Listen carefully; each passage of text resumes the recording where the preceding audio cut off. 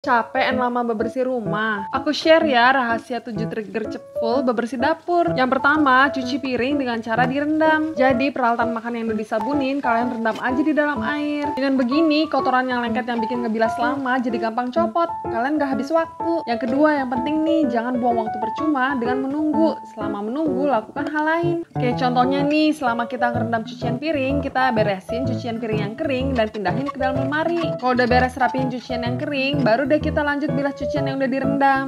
Dengan perendaman, bilas itu lebih mudah dan lebih cepat bersih. Yang pastinya jadi lebih hemat waktu. Setelah selesai dengan peralatan makan, baru deh kita lanjut ke peralatan masak kayak wajan. Nah, setelah menunggu ngerendam wajan, baru deh kita bersihin kompor sama meja dapur. Trik ketiga nih, lap kompor sama meja dapur itu rutin biar lebih mudah dan lebih cepat buat bebersihnya. Kalau kamu jarang bersihin, nunggu minyakan dan lengket parah, itu tuh bakal capek ngebersihinnya. Yang keempat, selalu sedia baking soda. Baking soda itu ngebantu buat nyuci barang-barang yang minyakan. Jadi cocok buat cuci wajan, panci, tatakan kompor, pokoknya semua yang lengket-lengket. Yang kelima, setelah selesai cuci-cuci, jangan lupa cuci sinknya ya. Dengan begini, kamu nggak perlu sering-sering deep clean. Yang keenam, lap meja dapur dulu, baru bersihin lantai. Yang terakhir, kalau lengket-lengket di lantai dan kalian lagi nggak sempet ngepel, semprot pakai pembersih kaca dan lap pakai kanebo. Tapi kalau lantai kalian doff dan warna napnya muda, jangan ya. Kalian cukup tebarin baking soda, kemudian kalian vakum atau lap basah. Kalau kalian biasa gimana?